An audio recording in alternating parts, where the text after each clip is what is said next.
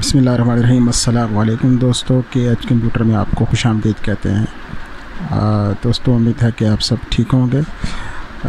दोस्तों आज मैं आपके सामने एक लैपटॉप लेकर आया हूँ जिसका अंदर इशू है ओवर हीटिंग का। ये A M D Athlon X two का मॉडल है तो शीबा ब्रांड है इसका।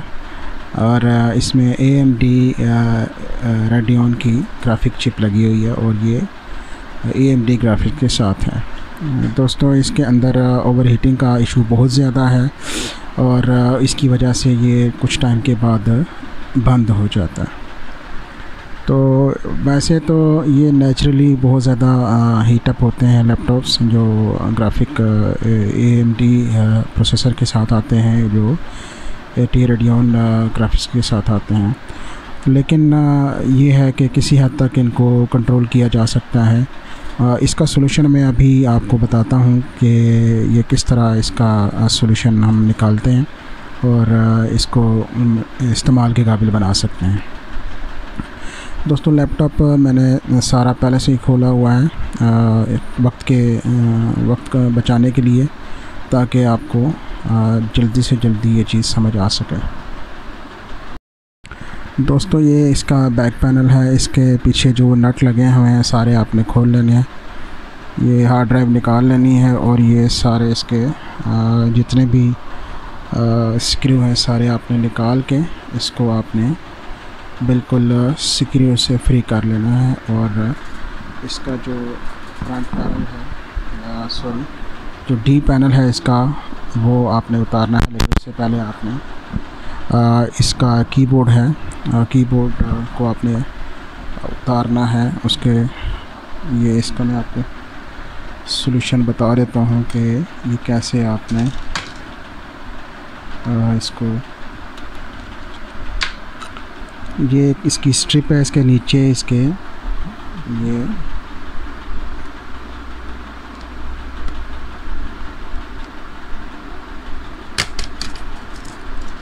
ये इसके नीचे नट लगे होते हैं ये आपने नट है कि आपके साथ उतार लेने हैं और कीबोर्ड को आपने आराम से निकाल लेना है। आ, दोस्तों ये इसका नीचे वाला पैनल है।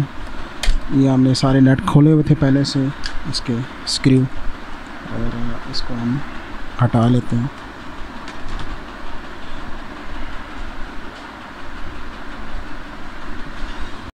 दोस्तों, आप देख रहे हैं कि ये हमारा फ़ैन है, इसका कूलिंग फ़ैन है। और कूलिंग फ़ैन की ये तीन वायर्स आपको नज़र आ रही होंगी। और दो वायर्स इसमें होती हैं जो कि वोल्ट की होती हैं और ये तीसरी वायर जो होती है ये टेम्परेचर सेंसर की होती है और इसको ऑटो ऑन करती है और ऑटो ऑफ़ करती है। दोस्तों, क्योंकि ये ऑलरेडी हमारा लैपटॉप काफ़ी हीटअप हो रहा है और बहुत ज़्यादा जो है वो हीटिंग की वजह से ये बंद भी हो जाता है और फ़ैन को हम ये चाहते हैं कि ये फ़ैन बिल्कुल फ्री हो जाए और ये कंटिन्यूसली चलता रहे।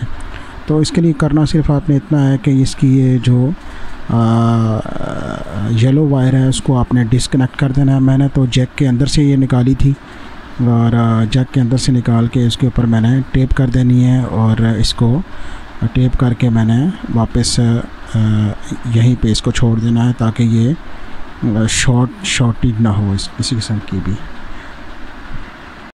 दोस्तों, ये येलो वायर आपने इसको आपने फ्री छोड़ देना है और इसको टेप चढ़ा के आपने यहीं पे ऐसे ही छोड़ देना है ताकि ये शॉर्टेज ना पैदा करे किसी किस्म की, किसी चीज़ के साथ, पुर्जे के साथ टकरा, टकराए ना।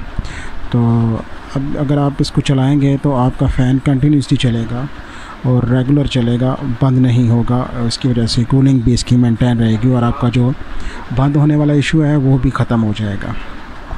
तो आइए दोस्तों, हम ट्राई करते हैं कि हमारा फ़ैन जो है, वो उसकी क्या कंडीशन है और वो कैसे चलता है और वो उसका वो इशू हल हुआ या नहीं हुआ।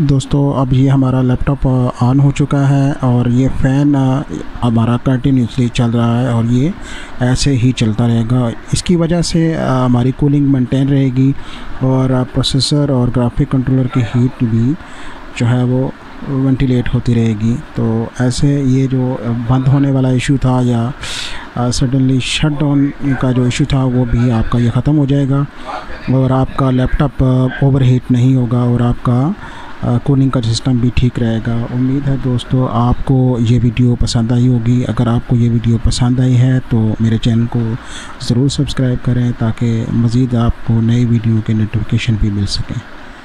थैंक यू सो मच अल्लाह हाफिज़।